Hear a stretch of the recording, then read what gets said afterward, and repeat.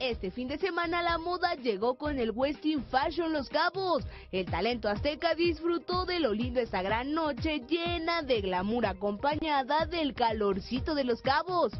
Víctor González fue el encargado de conducir el evento y aprovechó para mostrar su orgullo por México ahora que grandes diseñadores deciden presentar sus líneas de ropa en nuestro país pues es que ya era hora, ¿no? Tenemos grandes, grandes escenarios como son Los Cabos, como es este hotel, y yo creo que también hay grandes diseñadores mexicanos como Jenny Ravel, que es una de las diseñadoras que vamos a presentar hoy.